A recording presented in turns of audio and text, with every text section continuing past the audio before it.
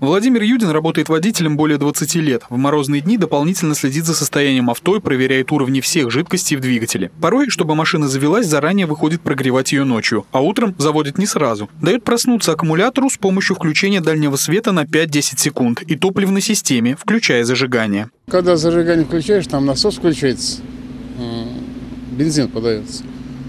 А если сразу включить э, зажигание сразу, не поджидая, может бензин не попасть, и она не заведется. Особенно в такое время, морозное. Также Владимир в морозные дни аккуратнее действует во время движения. Советует после прогрева ехать медленно, чтобы все системы автомобиля работали без напряжения. Да и в дальнейшем размеренно разгоняется и плавно тормозит, потому что на дорогах возможно налить. Большой скорость нельзя. Километров 40, там не больше. Чтобы коробка разогрелась. Коробка обязательно должна разогреться, иначе она тоже портится. Она не в раз, но она испортится постепенно.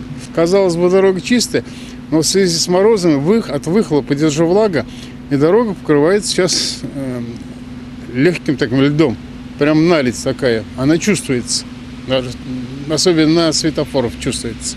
Специалисты в сильные морозы советуют совсем старый аккумулятор заменить на новый, а также заносить его домой и по возможности заряжать. Обязательно приобрести размораживатель замков и хранить его дома или в сумке. Следует запастись и необходимым количеством охлаждающей и стеклоочистительной жидкостями, имеющих достаточный запас по морозостойкости. При частых кратковременных поездках мороза необходимо тщательно очищать свечи от слоя нагара. В сильные морозы необходимо следить и за давлением в шинах, ведь если оно понижается или повышается, это значит протектор не справляется со своей работой.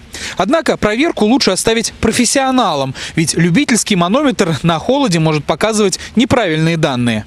К сожалению, даже все предпринятые меры не могут полностью исключить возможность каких-то случаев и инцидентов. Тогда за помощью лучше обратиться к профессионалам. А если вы сами стали свидетелем, что кто-то не заводится или имеет другие проблемы, а вы можете помочь, то предложите помощь. Ведь братство автомобилистов должно быть сплоченным. Андрей Горгуленко, Григорий Плешаков. События.